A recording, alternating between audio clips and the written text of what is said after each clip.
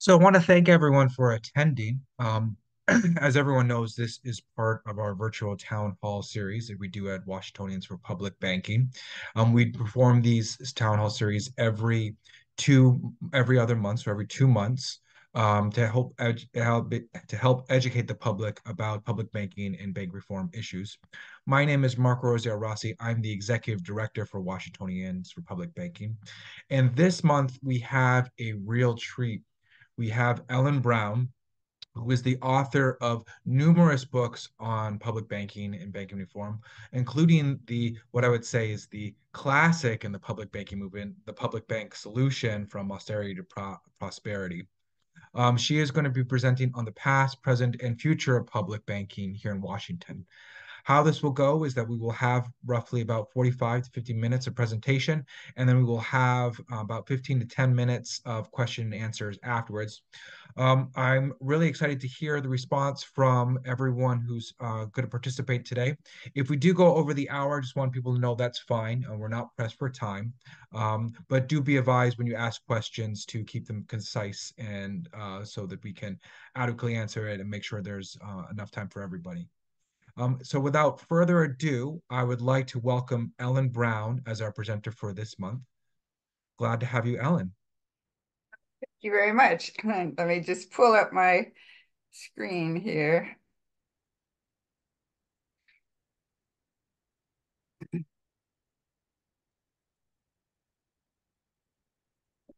Okay, so I'm, as Marco said, I'm uh, going to talk on the past, present, and future of public banking. Actually, I didn't go into the past too much, but I could do that later if you care.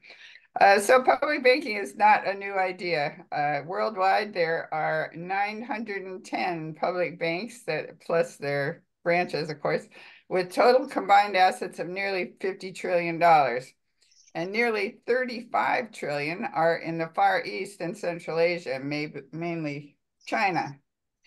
Uh, China was one of the poorest countries in the world and moved up to global economic powerhouse in four decades. Among other achievements, China built 26,000 miles of high-speed rail in 15 years, along with the world's largest dam and power station. How did they fund all that? Uh, the, their secret is the government owns 80% of banking assets, including three massive development banks. The biggest is China Development Bank.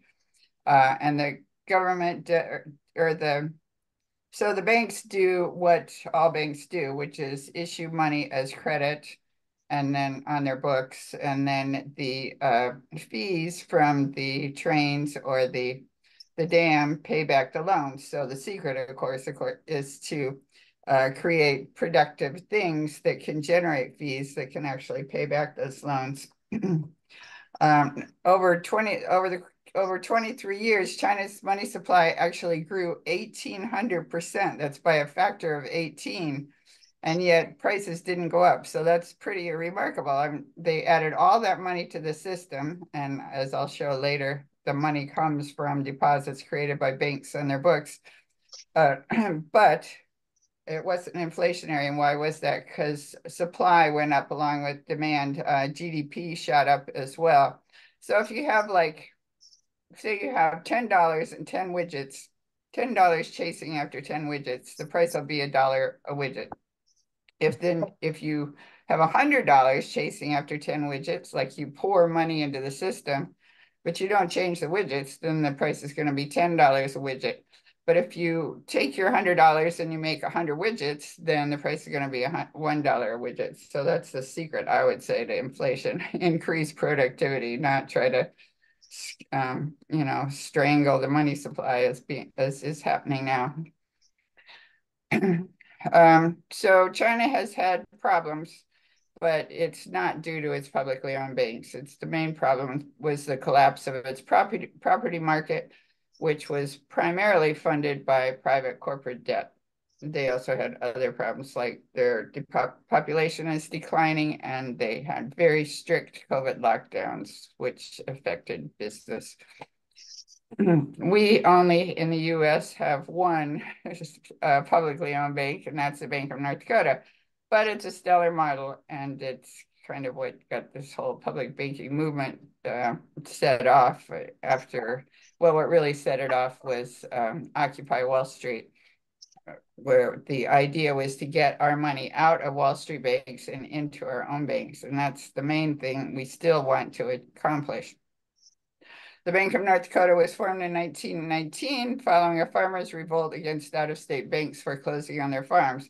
So um, the the railroad and the granary and the uh, the banks were all one cartel, the out-of-state banks, and they were uh, not taking the grain. They said it wasn't good grain, but the farmers knew it was good grain, so they thought that they were being uh, discriminated against or that there was an effort to grab their farms. And so that's why they formed a, a political party called the Nonpartisan League and um, got together and formed their own bank, and formed their own granary, and formed their own uh, mill, I think, which still exists, those three publicly owned things.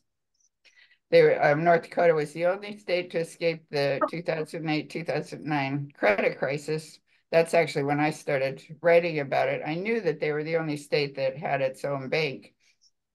But uh, so I was watching it and it did it did remarkably well in the credit crisis. So that's when I started writing.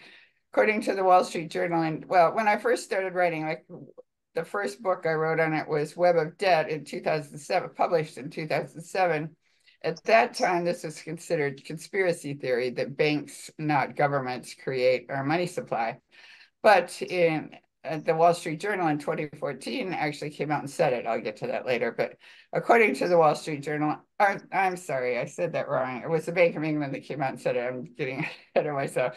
The Wall Street Journal wrote in 2014 that the Bank of North Dakota is more profitable than Goldman Sachs or JP Morgan Chase. and according to the bank's 2022 in a report, which is their latest report, they had record net income of 191 million, record asset size of 10 billion, return on investment of 19%, which is very good.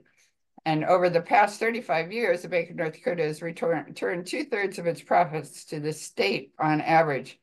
And its return on equity averaged 20% for the first 20 years of of this decade. They also have a taxpayer surplus ranking of number two after Alaska. Why are they so profitable? First of all, they don't have private shareholders sucking out the profits. Uh, they don't pay bonuses, fees, or commissions. They don't have high paid CEOs. They don't have to advertise. And by law, all of the state's revenues are deposited in the bank. So they have a huge deposit bank base and they don't have to advertise for customers either because um, they partner with the local bank. So the local bank actually comes to the Bank of North Dakota when they have a loan that maybe is too big that would have gone to one of the big Wall Street banks.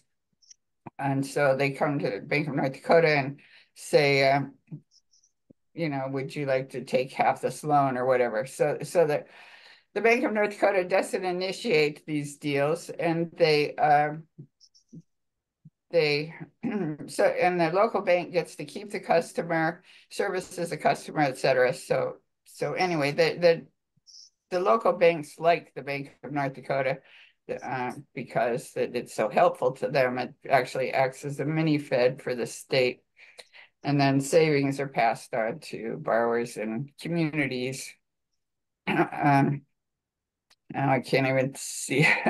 anyway, most states in the U.S. have movements attempting to start uh, publicly owned banks, state owned or city owned or county owned, but we don't have any new banks yet in the continental U.S. We do have America, the Bank of America, smaller, but that's obviously not continental. Um, but now is the time, we would argue. Since 2010, 176 public bank bills, studies, and resolutions have been filed but the only bank is Bank of American Samoa. Why is that? We get pushback routinely from private banks and politicians. Politicians, particularly, are afraid to rock the boat when things are going well. But right now, things are not going so well. And so we would argue now is the time. Uh, they're not going so well for the banks and they're not going so well for the economy. The banks are worried about bank runs, as happened in a year ago when Silicon Valley Bank and a couple of other banks, big banks went down. Um, and then interest is very high, so that makes it expensive for the banks for to acquire liquidity, and it also means that it's harder to find good borrowers since not everybody can pay those high interest rates. And then there's the threat of the derivatives bubble and the commercial real estate bubble, which both could pop and take the banks down. And the economy itself is not doing so well either. The banks aren't lending, and that means that credit is contracting, the money supply is contracting, collaterals require contracting, and this is all considered um, contractionary or recessionary. But public banks don't have that problem. First of all, they don't have to worry about runs because the bank is owned by the government. It's not going to run at itself. It's the major depositor and they don't have stock, so they, they don't have to worry about short selling. Um, and they can lend more cheaply than than private banks. So they lend in the public interest, and they can act as a mini Fed for a state, the state as Bank of North Dakota does. Policymakers often say, why do we need publicly owned banks? We already have lots of banks and governments have um, revolving loan funds. But one major difference is leverage. Revolving loan funds can lend only the capital that they have. So if they've got, well, anyway, uh, a ch chartered depository bank can lend up to 10 times its capital. Private banks can leverage too, of course, but they are costly to borrow from banks don't just uh, lend their deposits, they actually create deposits when they make loans, increasing the money supply and GDP. And this was said in 2014 by the Bank of England. They wrote in their quarterly report banks do not act simply as intermediaries, lending out depositors that savers place with them, and nor do they multiply up central bank money to create new loans and deposits. Commercial banks actually create money in the form of bank deposits by making new loans. In fact, they said bank deposits make up 97% of the amount of money currently in circulation. So that was the, that was in England or in the UK, 97%. But uh, th this was an article in the um, published by the Federal Reserve Bank of Philadelphia in 2023, uh, which put the figure at 92% for the first 20 years of this decade. So I, I, the quote on the left is the same as the quote on the right, but I couldn't manage to highlight it or expand it, so I, it was a screenshot. So it, they said in their abstract, relying on theories in which bank loans create deposits, a process we call funding liquidity creation, we measure how much funding liquidity the U.S. banking system creates. Private money creation by banks enables lending to not be constrained by the supply of cash deposits. During the 2001 to 2020 period, 92% of bank deposits were due to funding liquidity creation. And during 2011 to 2020, funding liquidity creation averaged um, 10 trillion a year or 57% of GDP. So if you didn't have banks creating money or funding liquidity creation, you would not be able to have created nearly the GDP that we have now. I hear a squeak and I don't know, is that me? is that coming from me? I can't tell. There's a funny noise. You don't hear it. Okay. Um, so how do they do, how do they create money on their books?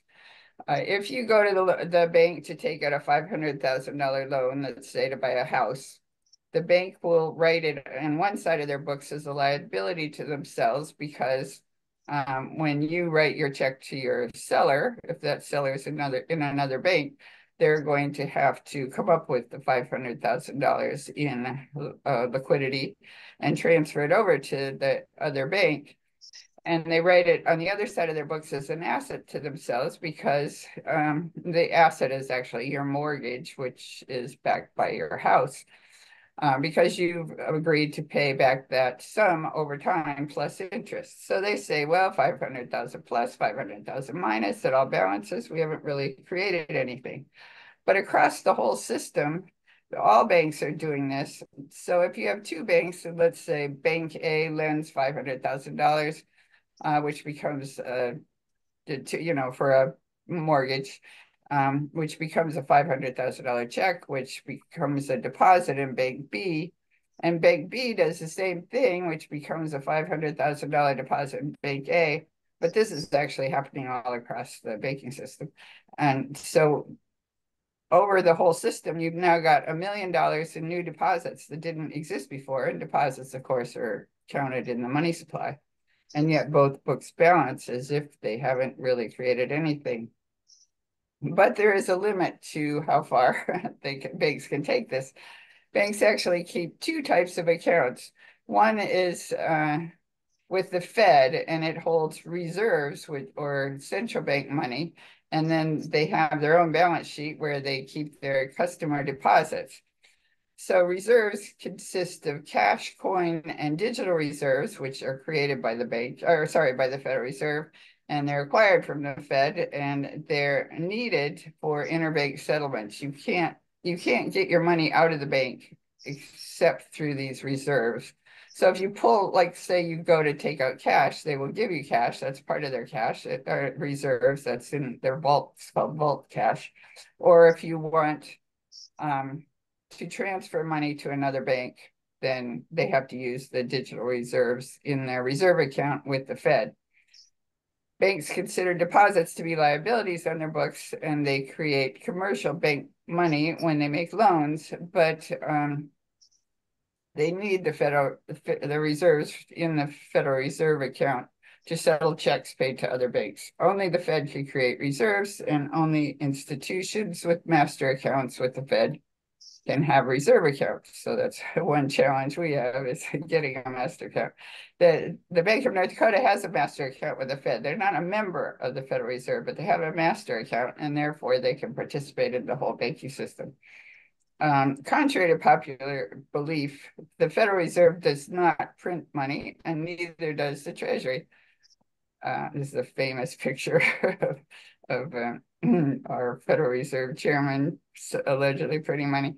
Uh, in fact, the Fed buys coins from the mint at face value. So, so if the mint makes a 25 cent, coin and it costs 15 cents for the metal, et cetera, to make the coin, then the mint gets the seigniorage. They get the 10 cent difference. But with paper currency, the Fed buys it from the Bureau of Engraving and Printing at cost. So that means if it costs 10 cents to print a $100 bill, then the Fed will send sell the bill to commercial banks for $100, but they only have to pay the 10 cents for the printing. So they obviously get the seigniorage on the paper currency. And they sell both to banks at face value, but they return most of their profits, about 95% of their profits to the Treasury. So for that reason, it's actually good for us when the Fed buys federal debt, for example, because they return the interest to the Treasury. So what the Fed creates are not dollars, but digital bank reserves, the things that you have to have to transfer funds from one bank to another. Reserves enter the money supply when the Fed buys securities with them from banks or on the open market. So say the bank needs to acquire some reserves to back up its loans. Um, and it's got some, say, federal securities, then it sells those to the Fed. Fed buys the securities with with the with its with reserves, putting it putting the reserves in the reserve account of the of the bank. And the Treasury doesn't print dollars either. This that picture is a little misleading because it's really uh was when Janet Yellen was head of the Fed, but uh, we can pretend it. I mean, she's now head of the Treasury.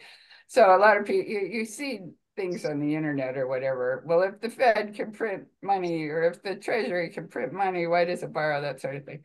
But anyway, the Treasury actually it could it could issue money constitutionally the, the Constitution says Congress shall coin money and regulate the value thereof. And different experts have said, yep, it would be le legal. If they wanted to create a trillion dollar coin and put it in their bank account and write checks against it, they could do it. But they don't because everybody thinks it would be inflationary. Now, I've written on this and I would argue you could do that over time and it wouldn't be inflationary to pay off the uh, federal debt, but I'm not gonna go into that if anybody cares, but it's not directly relevant here. Um, um, but what the treasury issues are debt, so it's securities, bills, bonds, and notes. And um, the they can't just people think that the treasury just takes the bonds over to the Fed and says, here, monetize this, turn this into dollars so I can spend it. But the the Fed is not allowed to um, lend directly to the treasury. The Fed has to buy the securities on the open market like everybody else if it wants to. And so at the moment, it's not buying, it's actually selling, even though obviously the treasury would, would like them to buy now because they've got the Chinese selling, et cetera. But the Federal Reserve is selling um, uh, bonds or federal securities in order to allegedly tighten the money supply, because when it sells, then it pulls back um, reserves. That's how it does it. You know, everything's in the reserve reserve accounts of the banks. So the bank buys the security, and the Fed gets its reserves back. Can I read my caption? But anyway, it's the actually the commercial banks that. Oh, I know what that was. Uh, so uh, some people say, why if the Fed can, or if the Treasury or the Fed can print money, why why do they borrow? And I saw this really good argument in. Uh, it was Martin Armstrong, who's an economist, and he said, well, the, the thought, the original thought was that loans are non-inflationary because they go out and they have to be paid back. So it's a closed circuit. So you've got a finite amount of money in the system.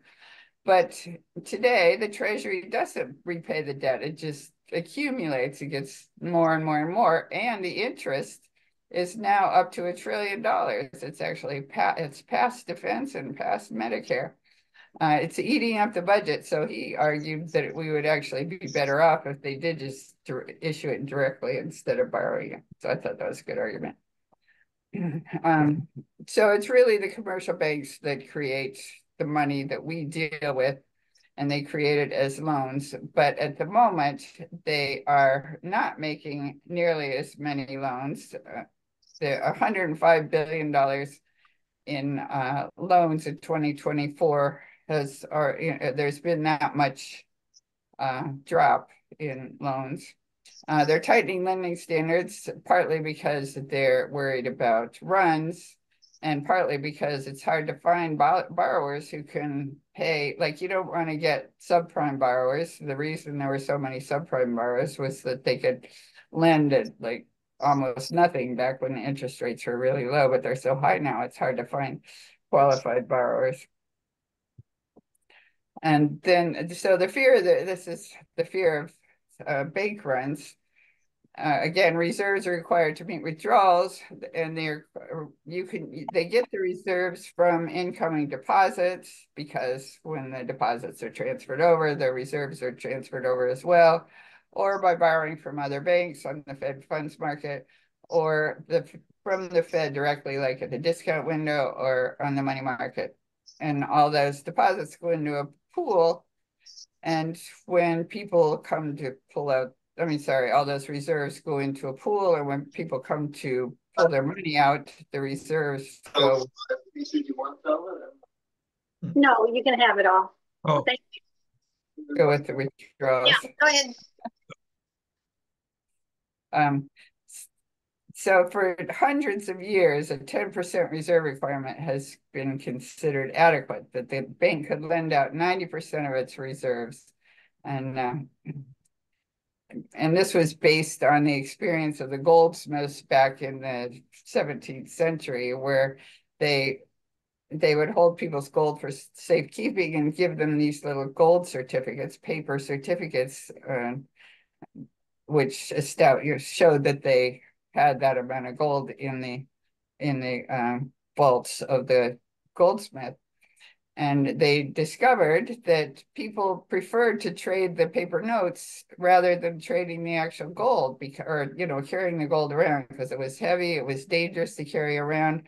The paper was very con convenient. So 90% of the uh, gold was left there in their vaults. And so they realized they could lend out um, t- ten times as many paper notes as they actually had gold and get away with it. And so that was that 10% reserve requirement has held ever since, although at the moment there's no reserve requirement because the Fed withdrew it in 2020 with the COVID crisis.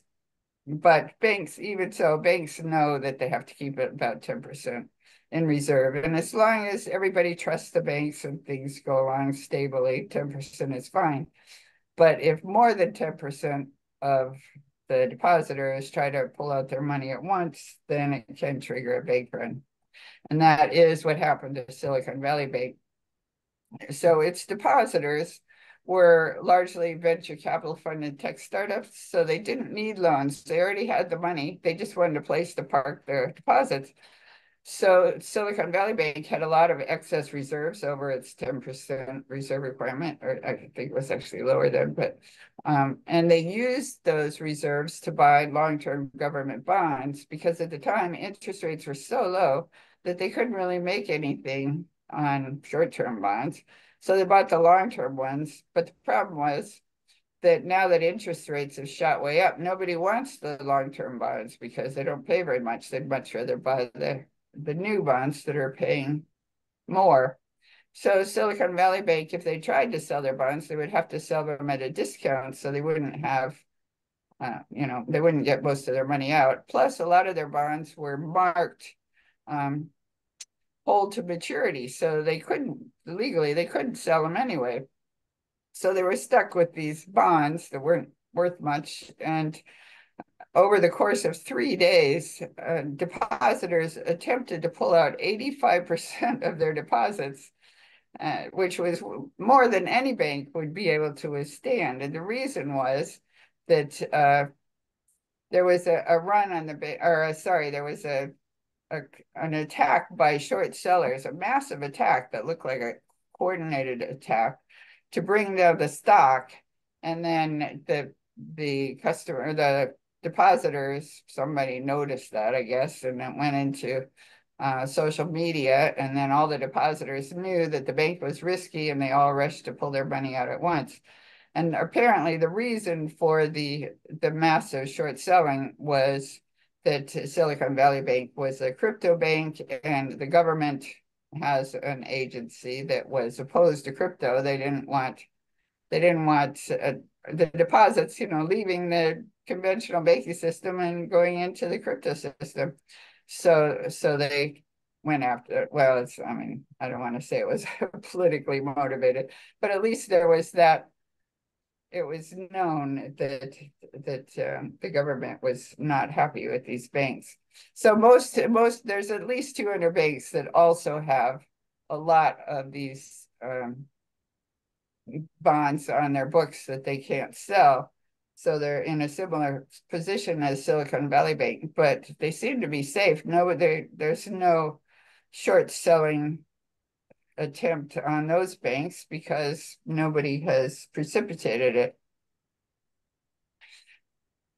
Uh, most state governments or city governments put their money in big Wall Street banks, but it's they're thinking that these are you know too big to fail and they're the safe banks, but they are no longer too too big. I mean, they're too big to fail, but it doesn't mean that we, the depositors, are safe. Uh, one reason is there's two quadrillion dollars. Nobody knows exactly, but it is estimated that there's two quadrillion dollars in derivatives out there, a huge bubble that could pop.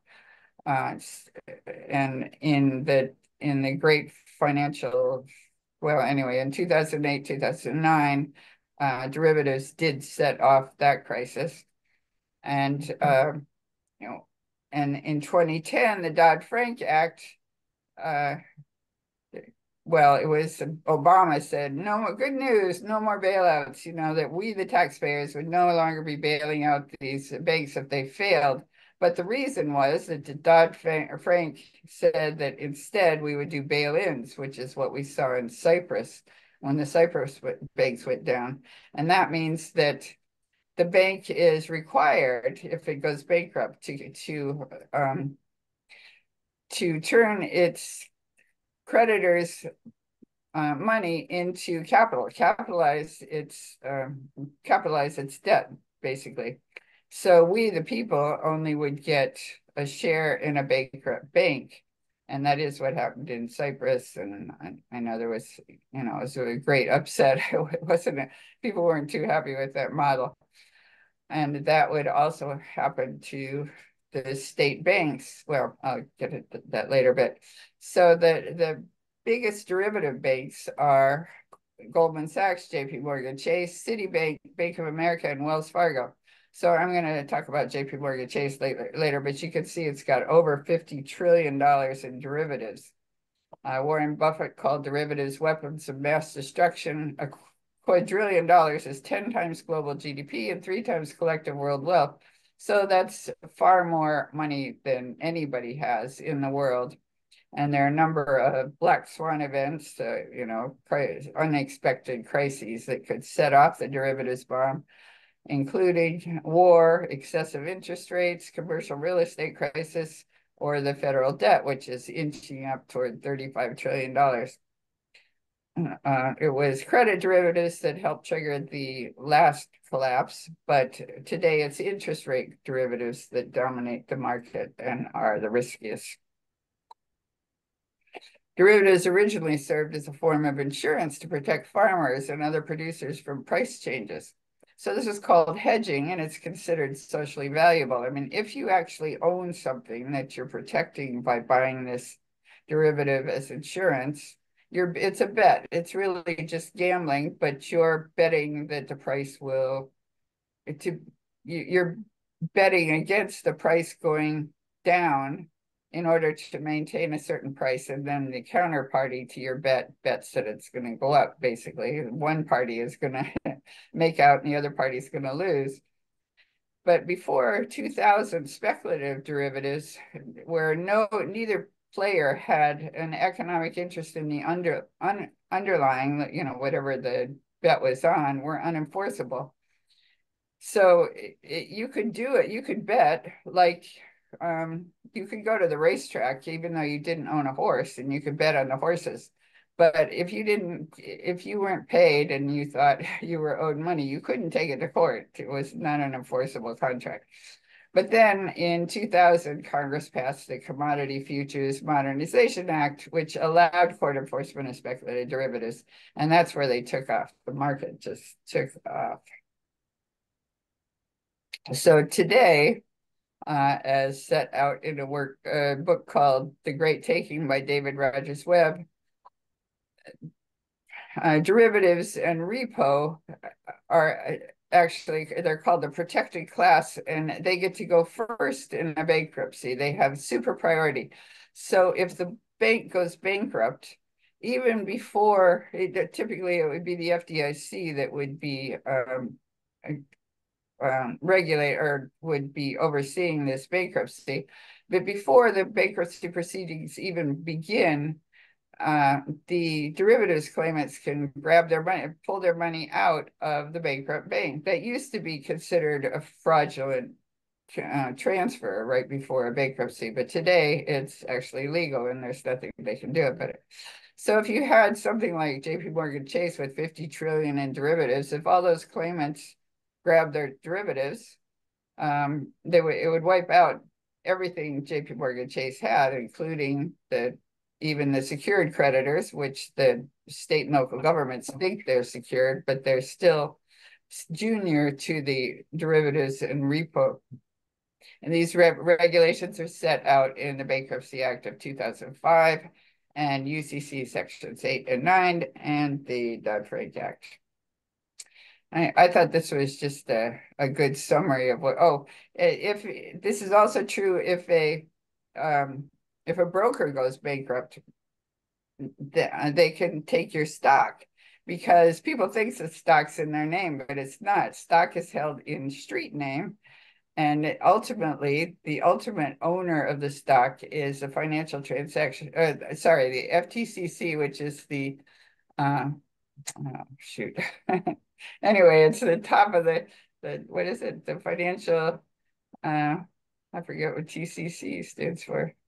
Anyway, clear, clearing corporation, financial transaction clearing corporation, I think. Anyway, they own everything in the name of their nominee Cede and Company. And they do that. They actually, there was a reason that it got set up that way 50 years ago when they had to trot between brokers to trade paper stock. But now with computerization, there's no reason they couldn't put it in our own name. But they like keeping it in street name because that means they can sell stock to short sellers, and they do a lot of that and they can rehypothecate and we the real owners don't know that's happening and they're doing it against our interests and they're not paying any part of the benefit. But anyway so this was a wall street financial analyst, named john Rubino and he said on this podcast he said well we used to think of as as a bank bail-in where they take your deposit in order to support a failing bank i mean that was under dodd-frank that is now spread across the entire financial economy, where whatever you have in an account anywhere can just disappear because they're going to transfer ownership of it to these big dominant entities out there in the financial system that need those assets in order to keep from blowing up. In other words, the reason they're protected is that they're so risky. Well, the real solution is obviously not to protect them, but to change the laws. We should, but I don't know that that's going to happen. Meanwhile, anyway, the point is these big derivative banks are actually very risky, even though they're considered too big to fail. I mean that they're you know safe. They can they can fail, and if they fail, we are going to we that it's not going to be we the taxpayers that bail them out. It's going to be we the investors or the depositors in those institutions. So compare JP Morgan Chase and Bank of North Dakota.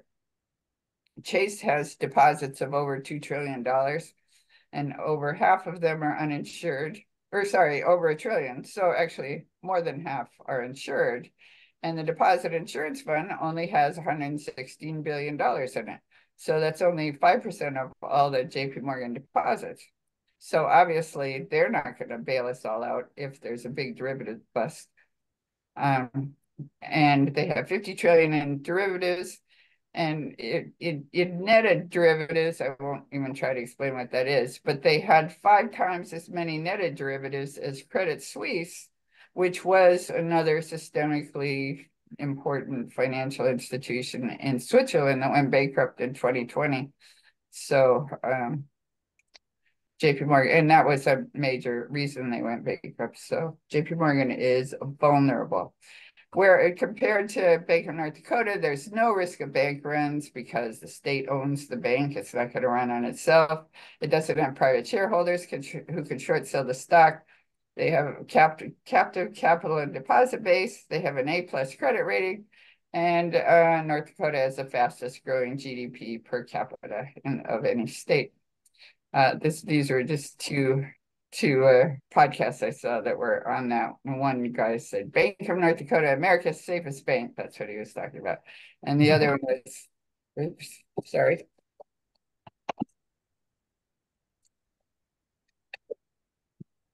The other was Kevin O'Leary, and he was says, North Dakota Public Bank shows success over regional banks. There's an incredible situation unfolding here. And he just said how how uh, how I talked about the Bank of North Dakota.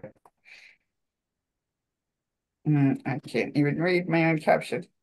Uh, so there, anyway, there are other advantages to the Bank of North Dakota besides those, besides being safe.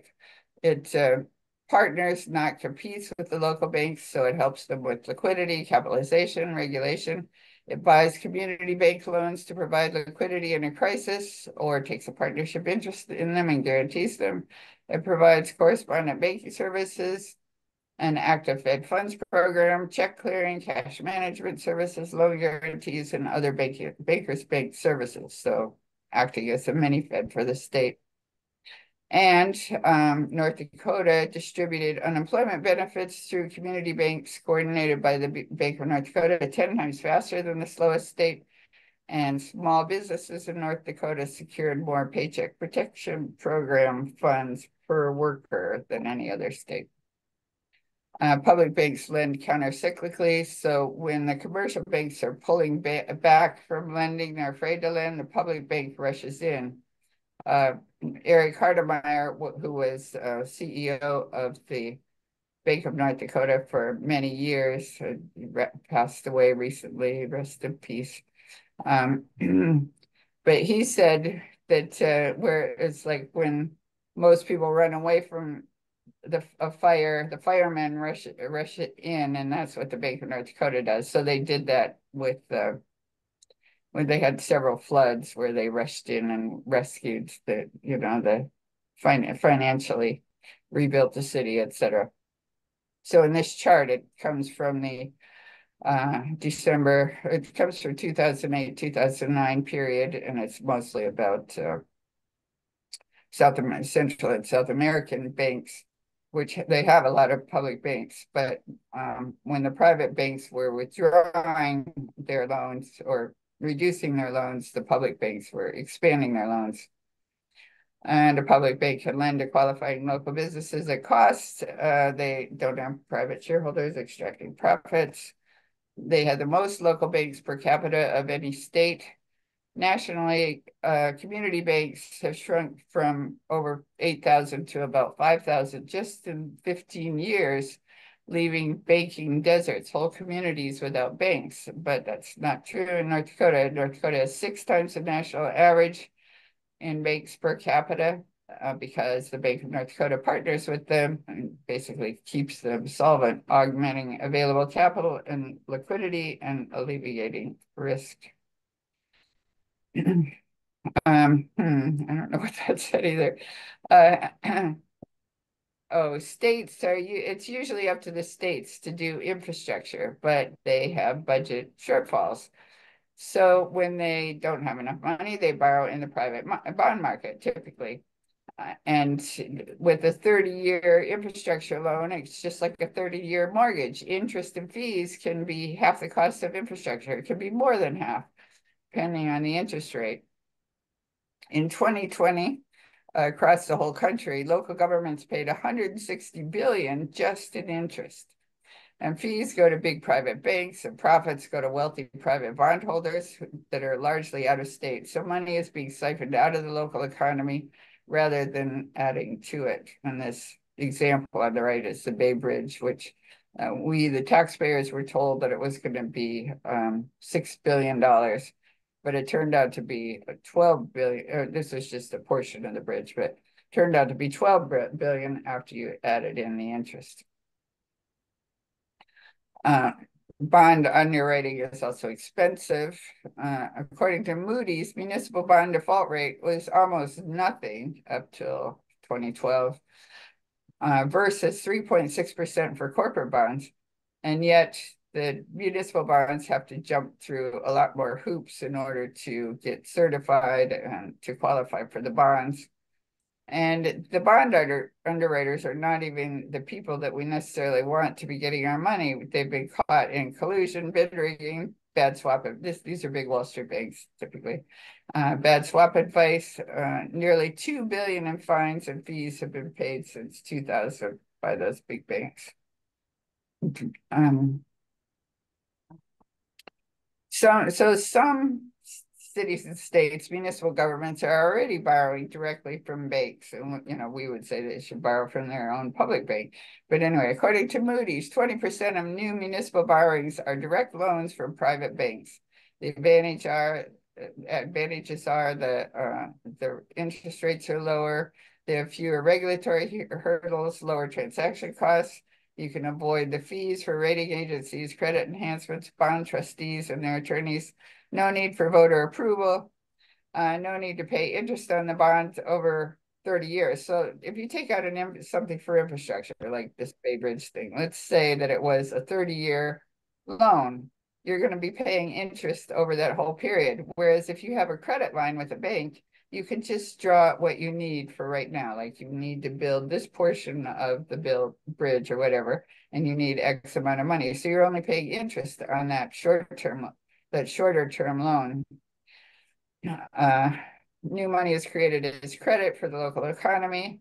And of course, it would be even better if they borrowed from their own public banks. It would be cheaper and they would get the profits themselves. So this is a summary uh, of why um, can't read my, my own thing, but anyway, why why it's better to have a have a public bank. Why a, a depository bank can do more than a revolving loan fund. Most most states do have revolving loan funds that deal with a lot of things that we want our public bank to do. But the depository bank can just do it better and can do more. They can leverage the capital at 10 to 1. Uh, for liquidity, they can borrow from depositors, typically their own revenues, the Fed or uh, Fed funds from other banks. At today's rates, incoming deposits are the cheapest source of liquidity. The local governments can borrow from their own banks, saving on bond fees and interest. And then other advantages, they increase the local money supply and local access to credit, provide a mini Fed for local banks and local economy, lend when private banks aren't lending, and rush financial aid in emergencies. This is just a chart we have on our Public Banking Institute website um, comparing uh, different forms of financial institutions, which is quite informative, I think it's but I mean, I'm not going to read it. But anyway, if you have any interest, it's on our website. And there is our website, publicbankinginstitute.org. And my website is at ellenbrown.com. And these are my three books on the subject. And that's all I have. And I have no idea what time it is.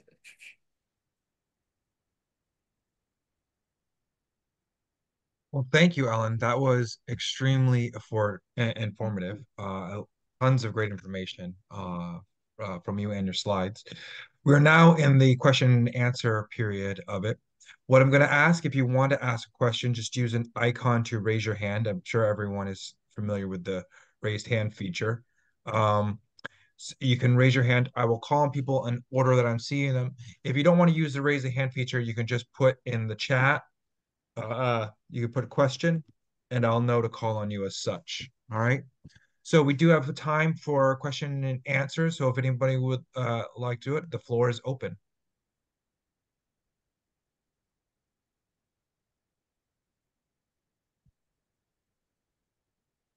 Oh, I do see someone wrote in the chat, uh, sort of a comment slash question from KG.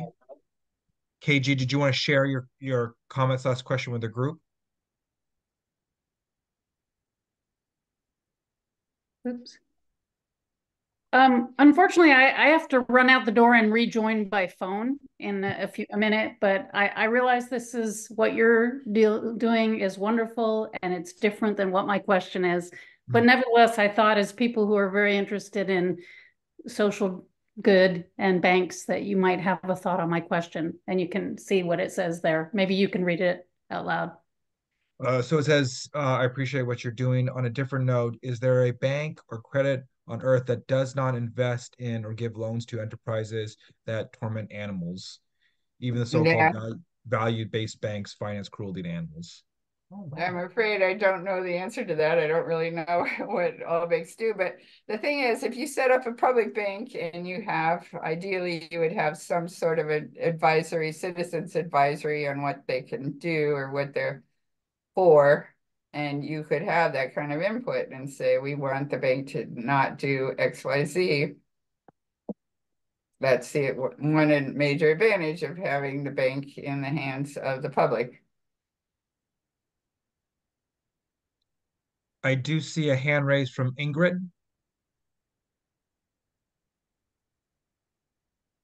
Ingrid, go ahead. You have the floor. Hi, Ellen. Um, good to see you again.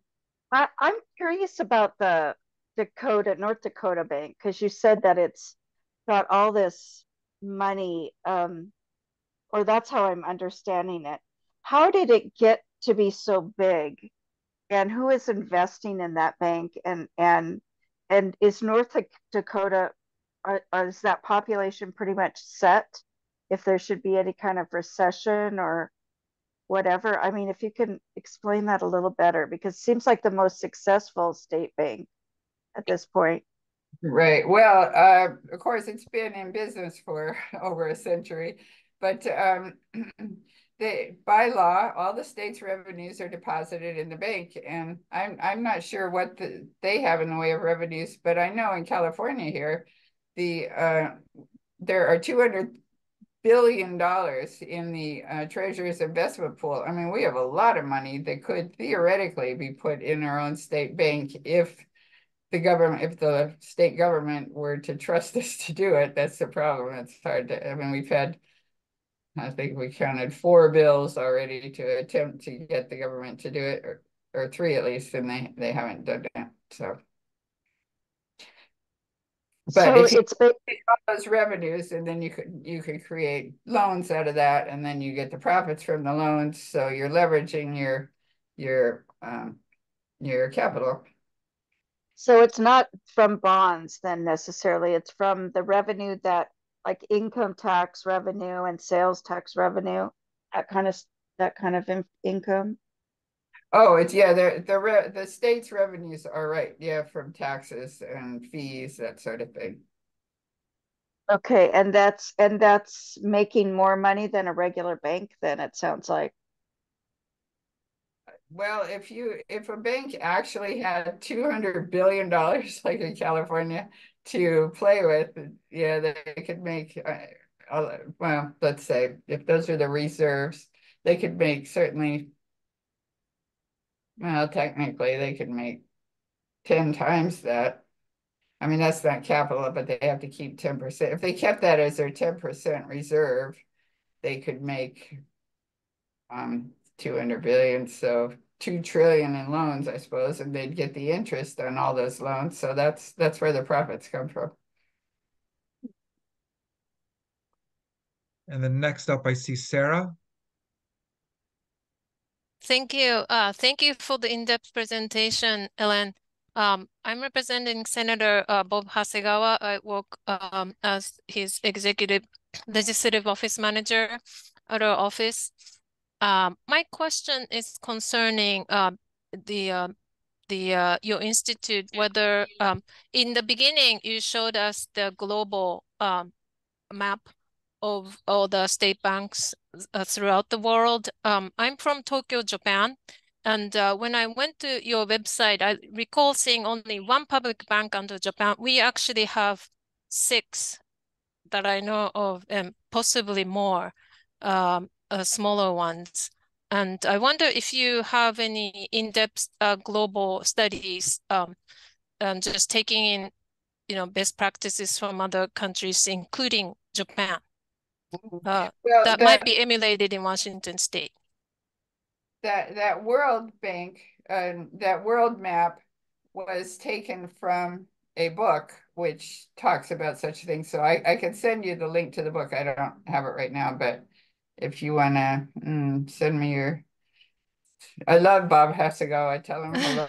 Yeah, I will do that. Yeah, he sends you best regards. Yeah. Oh, thank, he's, he And- wrote the first ever state uh, bank bill, which was in twenty ten, before we even formed the Public Banking Institute. It was great. He's working on Yeah. another one. Yeah. Oh, yeah. So I can, I can send you the, that book. It's a professor who's in Canada and he's researched it like crazy.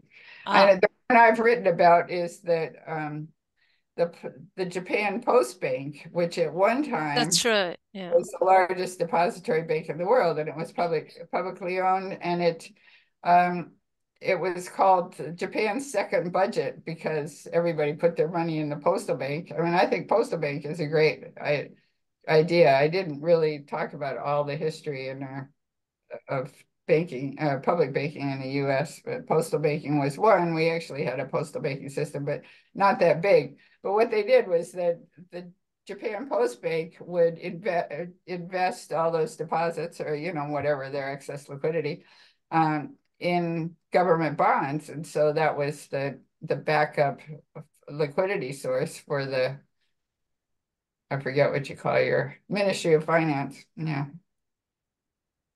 Oh, I, I just wonder if there's any legislative nexus for our legislators to do, you know, trips abroad and just learn from some other practices.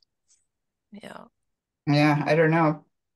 but I I can send you that book. I'll have to, if you, can you send, if you put your email address down there, I could save the chat and then I can send it Sure, to you. we'll do that. Thank you. Okay, And we have, we have two other comments slash questions that are in the chat. So one is from Ruth. Ruth, do you want to read your, your, your comment in question?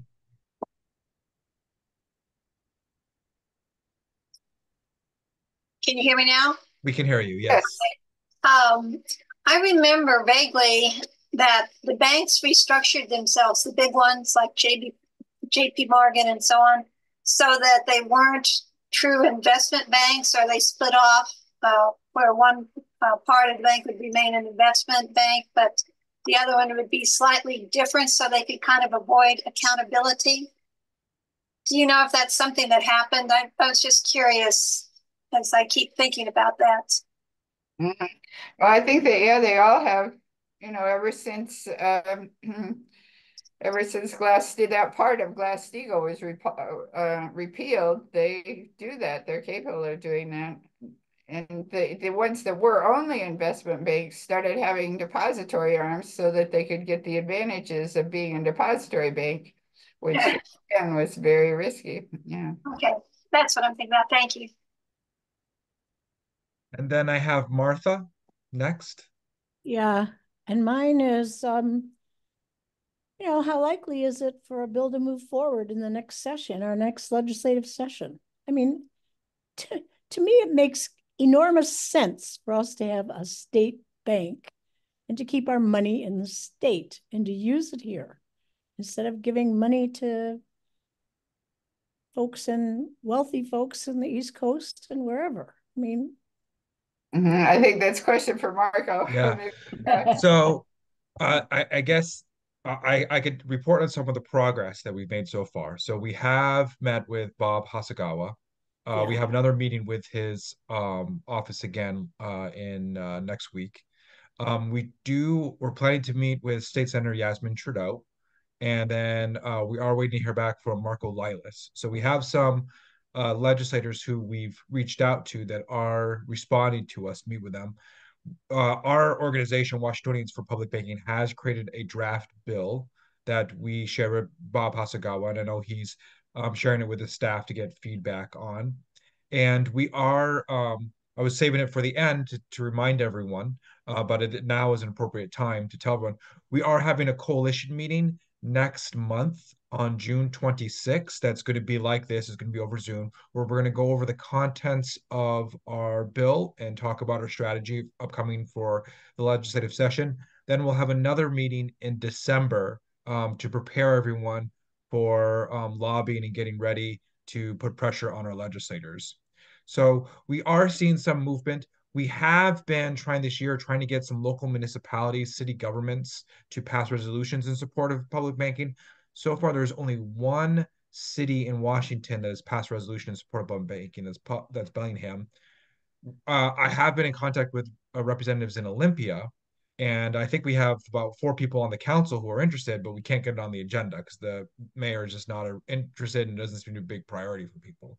Um, but we really want to try to get some of the local governments on board and make statements so they know they're committed to the cause as well. So if you know people in Olympia uh, that can put pressure on their city council members, especially on the mayor, to add it to the agenda, that would really be a big help for our cause and moving forward. But we want to also do it here in uh, Pierce County and Tacoma, King County, um, Spokane, move into a lot of areas to get their support before the next legislative session. Um, I do think feel confident, even if we don't get something passed this next legislative session, that we're going to have a big splash, much much larger splash than we have in the past, because our organization has put a lot of effort in trying to mobilize support for these types of measures. So I hope Well- that answers your question, Martha. no, it, it sort of does, but it doesn't. Mhm. We as individuals need to be talking to our own representatives and senators. Senator Hasegawa is my senator, Mhm. fortunately for me. Um, anyway, you know, legislators respond to what their constituents want. And ordinary folks like us are the ones that are going to make the difference in the long run. It's not going to be your, I appreciate what your organization does, but it's not going to be your organization that makes it happen. If you don't get ordinary folks out there talking to their legislators, it's not going to happen. Oh, And I, it makes- it I would just say, I, I agree. I really think it's really important to make sure that all the, um, uh, uh, organization, uh, people like yourself are reaching out to legislators. That's part of our strategy as well. Uh, we have tried to build a coalition of a lot of organizations throughout the state that uh, are trying to raise this issue as well, to try to getting the pressure moving from the ground up to to um, contact your legislators about it. The other way I would suggest is is that if there are, well, we've got let we've got to have elections coming up in the fall. Go out and talk to legislators when they're running for office and mm-hmm. ask them the question, hey, is this something you support? Are you going to mm-hmm. support a state bank for the for for Washington? Because you're going to get a lot of other people that are going to hear you ask the question, and then they're going to want to know about it, and that's part of it also. So I I also want to second that. I do know there are several people running this uh, legis uh, uh, for legislator who are making an issue of public bank or put on the agenda, and we do we are planning to issue a questionnaire to um, candidates that we can give the results over to the people who are um, our supporters, so they can be informed about who to support in the upcoming election. okay. Yeah, uh, I do have Ingrid's hand up. Hi, um, you know what I've I have found out, and that's same with the National Infrastructure Bank, is that that the we're not getting it out to the people. People are not being educated, so they can't, so they don't even know about it to ask their legislators. And I I don't know what the solution is except for getting, you know, maybe on on some podcast or uh, uh some kind of, you know, Sunday morning programs or whatever the program is that we could get it out nationally. And I think really the po- the point is is that people just don't even know what the, that it's out there, what we're doing and what is it, you know, so that they could say to their their representatives, this is what we want. You know, I think everybody that's working on these banks that that are working really hard and they're grassroots and they're calling they're calling the legislators, they're calling the representatives, the senators, every everywhere. And even in the national, in the Democratic National um uh or national conference or the election what it the I don't know what it's called, DNC, I guess. Um they even want to put a spot out there uh for it too. But I I really think it's just I, I don't know. I don't have a solution. I'm just saying that that's what I think is is the biggest problem because all of the people that know about this bank and know about the other banks that are out there are out there telling the people involved and who we want to, you know, we're all doing that. It's just we got to get it out there, you know, more. I, I don't know what to tell you, but I really think that's the problem is people just don't know what it is and they don't understand the history of these banks and how they work. So um, that's my thought. Anybody else want to chime in? Thank you Yeah. I We- we- agree. And I do want to know we do have someone else in chat. Akisha, you're you you made a comment in chat. I want to make sure we give time to you as well.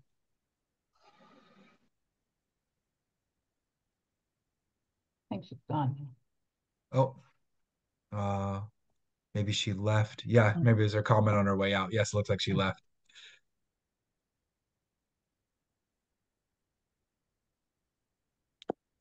All right. Well, uh, we are over the hour. Um, so, so if anyone, unless anyone has any other final co comments, oh, Pam, go ahead. Oh, hi, thanks. Um, I'm pretty new to this, but I just wondered about, um, uh, I went to school in Kansas. I, um, in, am involved in some of the Native Indian affairs here in the state as, as well. And how does all that, the federal money that farmers get and, uh, tribal members get, um, does that go into the the, uh, public bank and utilized within the state? Or is that, am I thinking wrong? Yeah, I don't know. Well, there are actually tribal banks in the Yeah. US, Leon tribal banks. So I would assume that if North Dakota had such a bank, it would go in the tribal bank and not in Okay. North Okay.